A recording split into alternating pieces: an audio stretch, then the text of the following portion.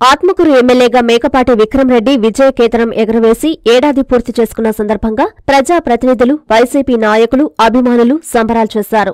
సోమవారం నెల్లూరు మరిపాడు మండలం బ్రాహ్మణపల్లిలోని మేకపాటి నివాసంలో మాజీ ఎంపీ మేకపాటి రాజమోహన్రెడ్డి ఆత్మకూరు ఎమ్మెల్యే విక్రమరెడ్డి ఉదయగిరి నియోజకవర్గ ఇన్ఛార్జి రాజగోపాల్ రెడ్డిలచే భారీ కేక్ కట్ చేసి అభిమానులు వేడుకలు నిర్వహించారు.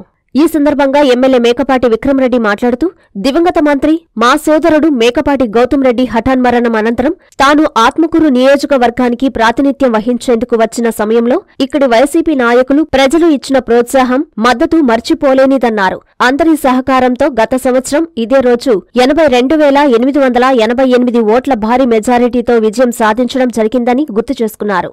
ఏడాది కాలంలో అనేక అభివృద్ధి కార్యక్రమాలను చేపట్టినట్లు చెప్పారు. ఆత్మకూరు డెవలప్మెంట్ ఫోరం ఏర్పాటు చేసి ఎంజీఆర్ ఫౌండేషన్ ద్వారా మా సోదరుడు ఆశయ సాధనలో భాగంగా ఆత్మకూరు ఎంజీఆర్ బస్టాండు నిర్మాణం ప్రారంభించి పూర్తి చేయడం జరిగిందని ఇంకా ఏడీఎఫ్ ద్వారా పలు అభివృద్ధి పనులను నిర్వహిస్తామన్నారు. రానున్న కాలంలో ఆత్మకూరు నియోజకవర్గాన్ని మరింత అభివృద్ధి చేస్తామని భరోసా ఇచ్చారు. ఈ కార్యక్రమంలో ఆత్మకూరు నియోజకవర్గంలోని వైసీపీ ప్రజా ప్రతినిధులు ముఖ్య నేతలు కార్యకర్తలు తదితరులు పాల్గొన్నారు.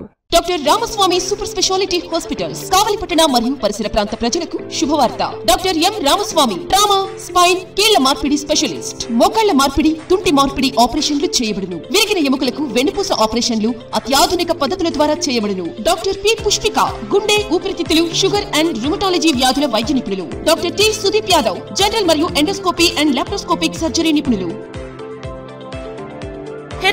పేగు జారుట ఇరవై నాలుగు గంటల పేగు హైడ్రోసెల్ ఆపరేషన్లు చేయబడును. వెంటిలేటర్తో కూడిన అధునాతన intensive care unit ICU doctor YSR Aarogyasri పథకం ద్వారా అర్హులైన వారికి ఉచితంగా ఆపరేషన్లు చేయబడును. Doctor Ramaswamy super speciality hospitals Vishnalayam వీధి కావలి.